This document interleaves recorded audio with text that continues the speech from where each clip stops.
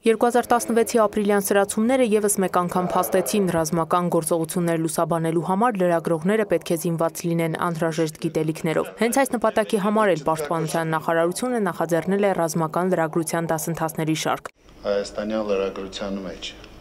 արդեն սա առաջի փորձը չի, բայց մեր շարքերը շատանում են, մեծանում են, փորձը փոխանցվում է,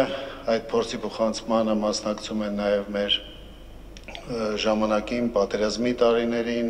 ռազմական գործողությունների տարիներին փորձ ունեցող մեր անվանի լրագրողները դուք բավականին որ մենք փորձում ենք այսպես ասած ազնիվ, հմուտ, արեստավար միջավայր ձևավորել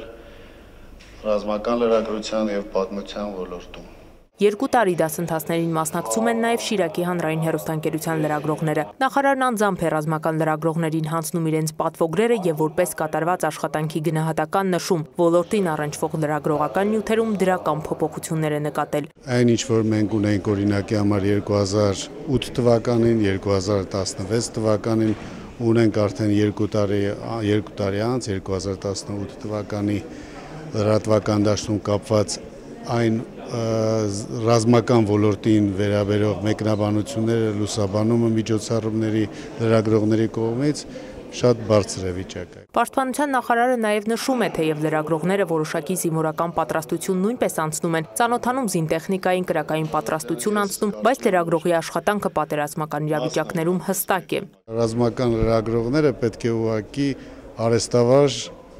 ներկայացնեն, լուսաբանեն մեր զինվորականների գործունեությունը։ Զինվորականները թողանեն իրենց գործը, լրագրողները իրենց գործը։ Դասընթացների ավարտին կազմվել է նաև ուսումնամեթոդական ձեռնարկ, հեղինակը Պաշտպանության նախարարի մամլոխոսնակ Արծրուն Հովանիսյանն է։ Նյութերի հավաքագրմանը մի ամբողջ թիմ է մասնակցել, չունենալով նախադեպային որևէ ձեռնարկ գրքի համահեղինակները երկար ժամանակ են որոնումներ կատարել։ Ուսումնասիրեցինք բոլոր երկրների, բոլոր այն երկրների ուղեցույցները, որտեղ որ գործում էր Ես ինքս հանդիպեցի մի շարք լրագրողների, խմբագիրների, ֆոտոլրագրողների հետ, ովքեր որ հենց եղել էին ապրիլյանի ժամանակ դիսկերում եւ իրենց հետ փորձում էի հասկանալ լրագրողների այն խնդիրները, որոնք ունեցել են տեղում, ինչ թերություններ են տեսել աշխատանքի մեջ, որը արդեն ամփոփվեց ուղեցույցում։ Ամենակարևորը, որպեսի մեր լրագրողները, ովքեր լուսաբանում են արտակարգ իրավիճակներ եւ պատերազմական գործողություններ, սահմանային իրավիճակներ, ամենակարևորը, որքան էլ զարմանալի է, այն է, որ իրենք ողջ մնան։ Եվ այն նյութը, որ ես առաջարկել եմ հրապարակել, միտված է հենց այդ գաղափարին։ Մենք ուղղակի պետքա կրթենք, ոչ թե պետքա պահանջենք, քննադատենք, Facebook-ում երկու վատ բան գնենք, այլ ուղղակի մարդուն բերենք, նստացնենք, սկսենք իրեն կրթել, տալ